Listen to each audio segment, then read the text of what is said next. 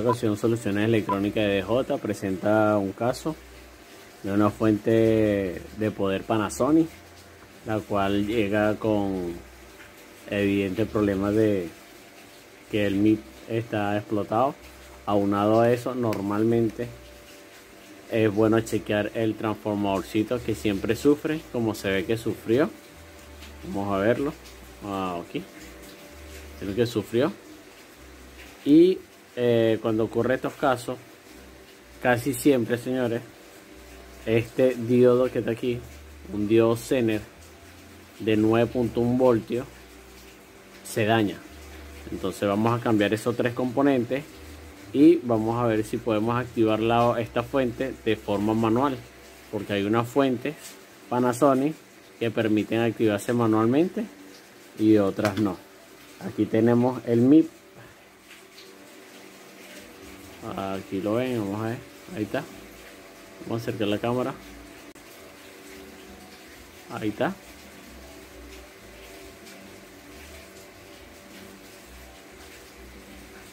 El MIP 2F2.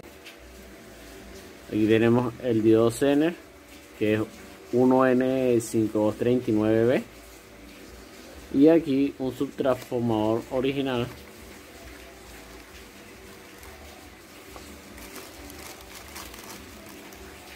para reemplazar. Totalmente nuevo nuevo de paquete. Entonces vamos a hacer esos cambios y seguimos compartiendo el video con ustedes. Vamos a hacer una vamos a hacer una medición rápida aquí en este video.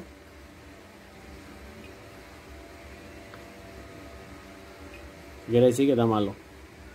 Él debería medir como un diocene como un diocene a veanlo aquí. 730. Pues. Y así, nada. Así que está dañado. Vamos a reemplazarlo. Siguiendo el procedimiento, señores, ya ha cambiado el Fener. Vamos a medirlo. 700. Se abre. El que quitamos fue este.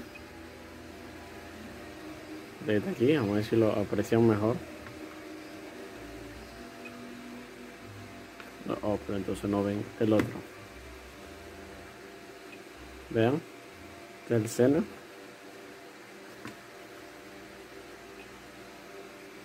Totalmente en fuga. Señores, entonces ya colocamos el MIP. El transformador. Y vamos a probarlo.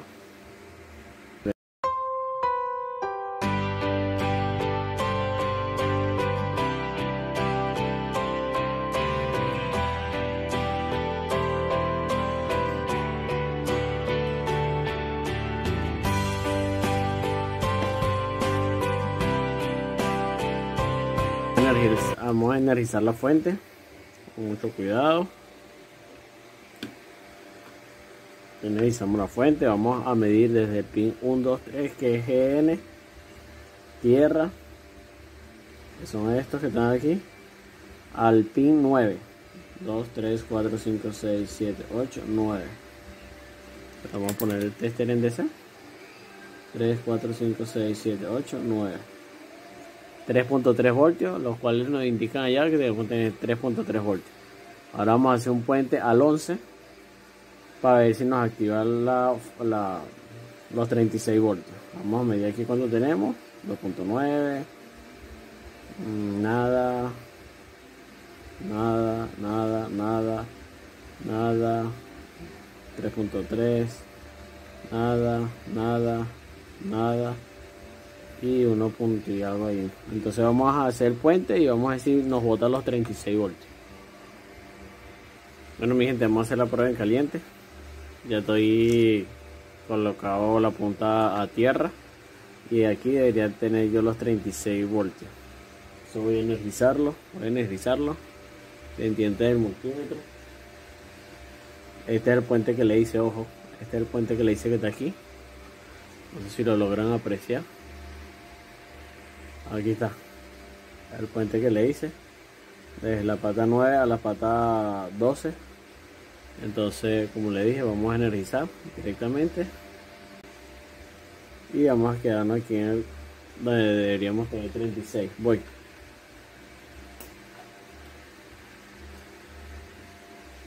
Ahí tenemos 37 voltios, 37,5. Ahí tenemos. Listo. La fuente está funcionando, está operativa. Vamos a probar los otros voltajes rapidito. Pin 1, 2.9. Eh, recordemos que 2, 3 y 4 nada. 5, 6, 7, el 8, un pulso, el 9 que es voltaje de standby, aquí nada, aquí tenemos 37 voltios, aquí los 3.3 y menos 2.7, listo, la fuente quedó operativa señores, ok, así que así se prueba una fuente Panasonic cuando le cambiamos el transformador, el MIP y el diodo Zener de 9.1 voltios. Espero que les guste. Suscríbete, dale al pulgar y comparte, comparte, comparte.